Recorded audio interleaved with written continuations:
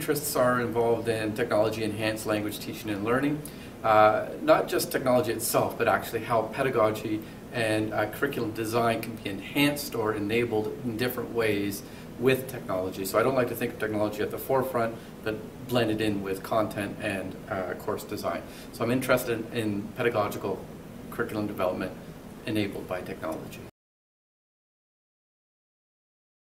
Uh, the presentation was taking a look at uh, how, uh, when technology becomes normalized or invisible in a sense, uh, how that can have an impact on curriculum design. And I made use of a program that we teach on through Minerva, which is an online flipped classroom course, and to show how that might have an impact on future curriculum design and how we might rethink actual courses and assessments and pedagogy.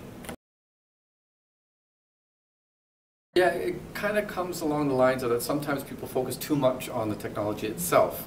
And uh, we're, I'm more interested in that normalizing technology. That is, it becomes so common that when you're teaching uh, or you're learning, uh, you're not really focusing on the technology. Uh, it just becomes everyday part of your everyday use. Just think of a pen as a technology. We don't think about it anymore, mm. how a pen mm. works, we just write with it.